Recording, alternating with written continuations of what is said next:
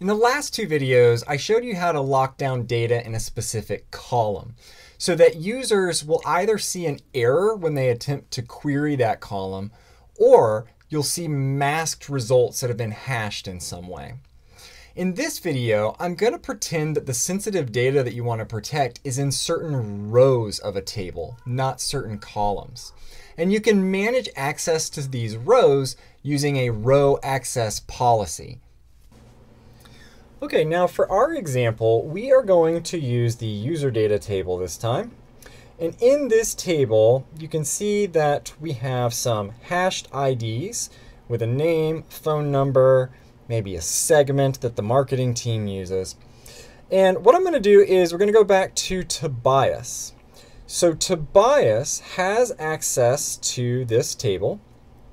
There is a policy tag on the email address, um, but I'm going to limit Tobias's access so that he can only query the data in this table where the row has a certain hashed ID. So let's imagine that um, 111ABC is a row that's Carol. Let's imagine that Tobias is allowed to see this row of data, but not others. So first thing I'm going to do is just verify that Tobias can actually see everything right now. I'm going to do that by having him query for hashed ID. And when I run that, I should see all of them. So all nine rows in this table are returned. So then I'm going to apply the policy. And you apply a policy using a DDL statement. And you're going to open up a new window like you're writing a query. I'm going to copy and paste the syntax and then we're just going to go through and modify this. So the first thing I'm going to do is give it a policy name. I'm going to call this restrict Tobias. And the table ID can be found by clicking on the table, going to details, and copying it to the clipboard. I, of course, need to wrap it in backticks. And then you grant this policy to a specific principal. And you have to say what type of principal. This principal is a user as opposed to a service account or a group. And the specific user we are talking about is Tobias at ken-williams.com. Last thing I'm going to do is grant access only to rows that meet the filter. And so this is going to be hashed ID column must be equal to 111 ABC. Let me see if that was right. 111 ABC. Yep, that's Carol's row. So now I'm just going to go ahead and run this DDL statement.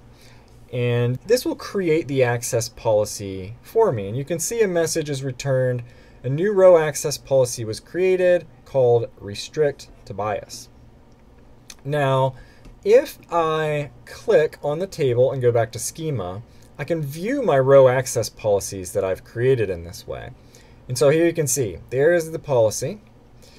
And now let's make sure it worked. So I'm going to navigate back over to Tobias's window and run the same query again.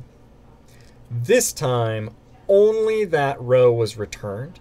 And there is also a message that notifies Tobias that you do not have access to certain rows in this dataset.